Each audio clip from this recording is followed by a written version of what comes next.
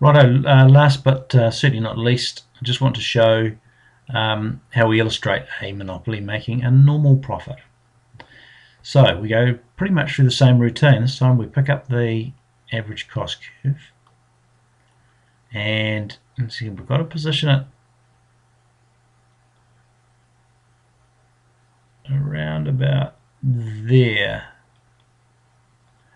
You'll see why in a moment, but I mean, more importantly, of course, the minimum is still cutting the marginal cost curve, but its particular position is quite important because when I pick up my um, my vertical my vertical line, uh, just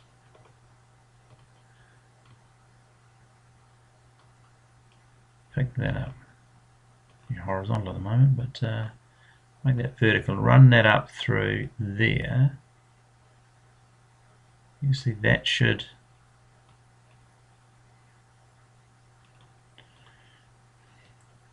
anyway that's that's that line that dotted line is run up to the um, the demand curve which is the blue curve. Uh, and it also happens to coincide coincide with the um, with the um, black curve which is clearly the cost curve. Let's do that in might make it easier. There we go. So let's put those labels in there. Um, first of all, we've identified Qmax again, MC equals MR, MR equals MC.